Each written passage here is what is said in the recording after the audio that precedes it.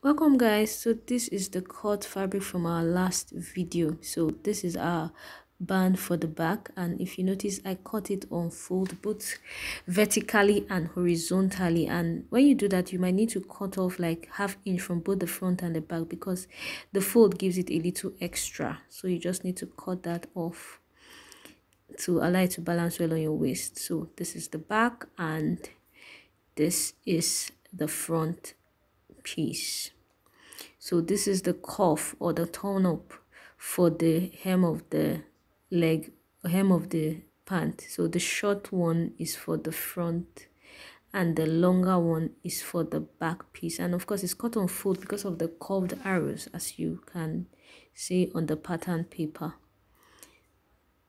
So this is our pockets. The curved edge is the one that goes inside and the straight edge is for the out seam then this is the front piece. The side seam is shaped like a triangle and that's actually for the pockets. And you know i like to line my ankara for something as short as this. If it's not lined i'll feel kind of exposed. So this piece is for our belt loops. And this is the belt. So let's go to the machine and sew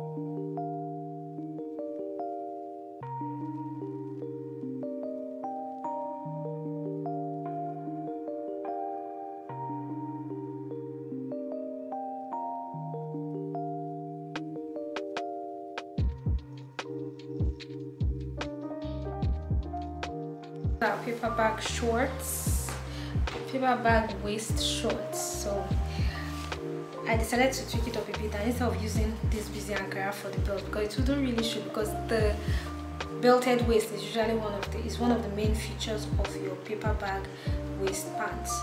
So I decided to use black also in order to match with the hem the turn up at the hem of our shorts. So this is it. So guys if you found any value in this video please remember to give it a thumbs up. And if you are yet to subscribe to the channel please subscribe to the channel and turn on your notification bell so you get notified whenever i upload a new video. And see you on the next video. Thank you so much and bye